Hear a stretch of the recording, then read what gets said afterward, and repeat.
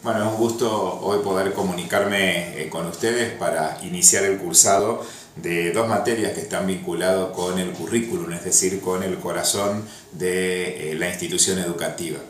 Por eso la centralidad de esta materia está puesto en cómo pasamos de las teorías y modelos a la gestión y desarrollo del currículum y en este marco de la maestría me parece que cuando uno habla de currículum nos convocan muchas palabras y también tener claro en cómo tenemos que cuidar las palabras para expresar lo que encierra currículum. Porque cuando uno habla de currículum habla de contenidos, habla de enseñanza, habla de aprendizaje, habla de capacidades, habla de saberes, habla de contexto, habla del ambiente, habla de lo ecológico y habla y habla y habla de muchas cuestiones. Pero a veces estas palabras que nosotros utilizamos para connotar lo que significa currículum, en algunas oportunidades habilitan cosas y en otras no permiten el desarrollo de ciertas actividades. Por eso me gusta mucho, como dice Jorge La Rosa, de creer en el poder de las palabras, en la fuerza de las palabras, en que nosotros hacemos cosas con las palabras y también en que las palabras hacen cosas con nosotros. Por eso actividades como elegir palabras, cuidar las palabras, inventar palabras, imponer palabras, transformar palabras, jugar con las palabras, no son actividades huecas, no son mera palabrería. En esta materia vamos a compartir eh, particularmente en esta primera instancia una introducción donde voy a dar una breve referencia a los paradigmas educativos de hoy y cómo se comportan esto en las denominadas sociedades del conocimiento, como así también eh, abordar eh, algunas conceptualizaciones acerca de currículum y poniendo en tensión las tradiciones, la teoría y la realidad, para poder abordar en otro encuentro aquello que tiene que ver con el diseño y el desarrollo curricular y el tema de eh, secuencias didácticas. dando inicio entonces a este primer bloque,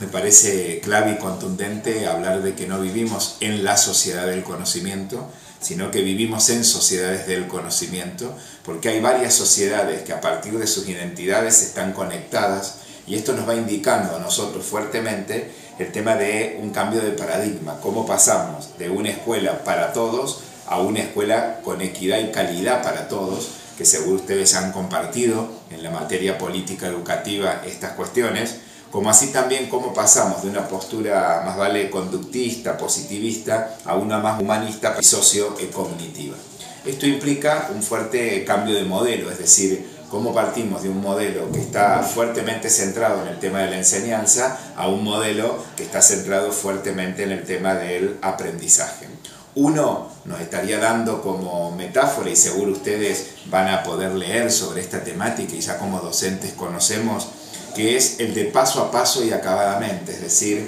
aquel que tiene como centralidad en solo mirar la enseñanza sin preocuparme porque mis alumnos aprendan. En cambio, el modelo al cual todos tendemos y queremos marchar en las sociedades del conocimiento es hacia el modelo centrado en el aprendizaje, es decir, donde no solo aprende el alumno, sino también aprendo yo como docente en una construcción que no es individual, que es colectiva y a la vez individual en el proceso de enseñanza y aprendizaje. Todo esto nos reta, todo esto nos desafía para poder pensar el corazón de la escuela, es decir, el currículum como lo definí metafóricamente en el inicio. Por eso le voy a pedir como tarea número uno a ustedes que a partir de la lectura de eh, los paradigmas de la enseñanza y el paradigma del aprendizaje, puedan ustedes buscar distintas imágenes que den cuenta de uno y de otro paradigma y realicen una reflexión y la puedan registrar para nuestro próximo encuentro.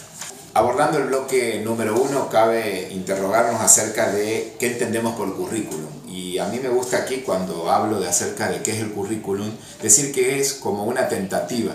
por el cual uno comunica algunos rasgos, algunos componentes esenciales de una propuesta educativa, pero siempre esto está abierto al escrutinio crítico de las prácticas, es decir, la situacionalidad del currículum ocupa un lugar interesante. Esta más vale una perspectiva crítica, si le tuviera que poner un autor a esto diría que estoy inspirado en este House, que es un autor interesante desde la perspectiva curricular, que lo invito a que lo revisen, a que lo googleen, lo busquen o lean algunos de sus materiales que son muy interesantes para eh, poder eh, aprender. Pero creo que cuando uno habla de currículum y en el inicio dije algunas palabras, pero ahora quiero completar esas palabras, hay como algunas preguntas esenciales que nos comenzamos a hacer. Siempre estamos muy preocupados por el qué enseñar. Yo diría nos preocupemos más en el para qué y qué enseñar, porque hoy en las sociedades del conocimiento no podemos seguir transmitiendo eh, y creer que vamos a poder transmitir todo el conocimiento existente, sino que lo que nosotros hacemos es transmitir alguno de esos contenidos y dando herramientas para que la persona pueda aprender durante toda la vida. Pero esta pregunta no es suficiente en el currículum y hace falta preguntarse cómo aprender y cómo enseñar. Y acá viene la fuerza de la didáctica que se vincula con lo curricular, como así también las cuestiones del tiempo, las cuestiones de los espacios, es decir, cómo voy secuenciando distintas actividades para que mis alumnos aprendan lo que tienen que aprender en los tiempos que están establecidos. Y en ese sentido no escapa también a esta discusión el tema de la evaluación.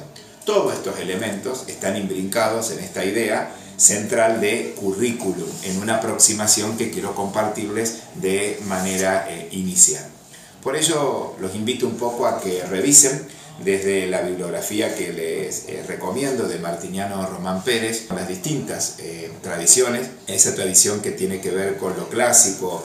lo academicista, por decirlo de alguna manera, aquella visión más vale tecnológica y positivista propia del modelo tecnológico existente en algún momento en nuestras escuelas, como también dar un espacio para empezar a mirar con mucha mayor profundidad, para darle sentido a la corriente interpretativa y a la sociocrítica. Yo aquí le voy a pedir una tarea número dos que ustedes puedan desarrollar a partir de esta lectura, de que puedan definir el currículum desde, desde y en cada una de estas perspectivas. Pero acá no pretendo que ustedes copien autores, sino que con sus palabras puedan apropiarse de estos contenidos y definir qué entienden por currículum desde la perspectiva academicista, qué de la tecnológica, qué de la interpretativa y qué de lo sociocrítico. Para que esto nos permita en la próxima clase seguir profundizando, poder eh, meternos en no solamente en la punta del iceberg, sino poder romper ese iceberg y nadar en la profundidad de la complejidad y la controversia que presenta el currículo hoy en las escuelas. Y seguido a que hagan esta actividad, los invito a que puedan ver un video de Explora Pedagogía, donde habla acerca del el currículum eh, escolar a esta tarea la pueden hacer de manera individual o de manera grupal, registrando las eh, principales ideas de este video, que lo que hacen es ponernos al currículum en una perspectiva sociohistórica, no solo en la Argentina, sino en el mundo y particularmente en eh, Latinoamérica. Y como actividad final integradora de esta aproximación que uno va haciendo eh, de manera virtual para nuestro próximo encuentro, le pido que revisando la tarea número 1, la número 2 y la número 3, cada uno de manera personal defina qué entiende por currículum, más allá de todos los autores que vamos a poder leer y compartir a lo largo de la materia. Y por si no fuera poco, no desesperen,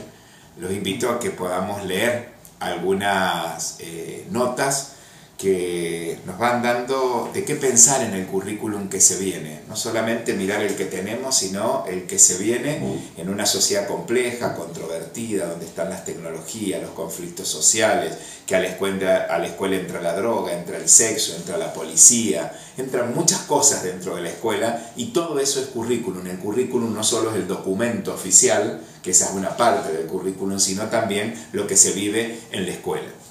Por eso he seleccionado dos artículos eh, bastante interesantes de tres especialistas de UNESCO, eh, Operti y Tedesco, que entre otros, que nos van a invitar a pensar esto. También le pido que lean estos documentos que son cortos y puedan ustedes pensar, porque esto me lo van a compartir en la próxima clase eh, virtual,